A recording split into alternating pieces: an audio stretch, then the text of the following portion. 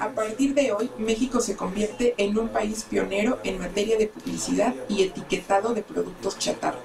al establecer horarios fijos en cine y televisión para restringir la promoción de alimentos de bajo contenido nutrimental,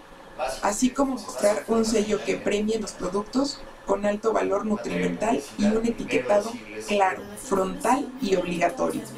Las medidas vigentes a partir de este martes responden al decreto expedido por el Gobierno federal para la Estrategia Nacional para la Prevención y el Control del Sobrepeso, la obesidad y la diabetes, informaron autoridades sanitarias en conferencia de prensa en el Instituto Nacional de Nutrición. Con esta estrategia, desde hoy los refrescos, cofitería y chocolates no se publicitarán de las 14.30 a las 19.30 horas de lunes a viernes y los fines de semana de 7 a 19.30 horas.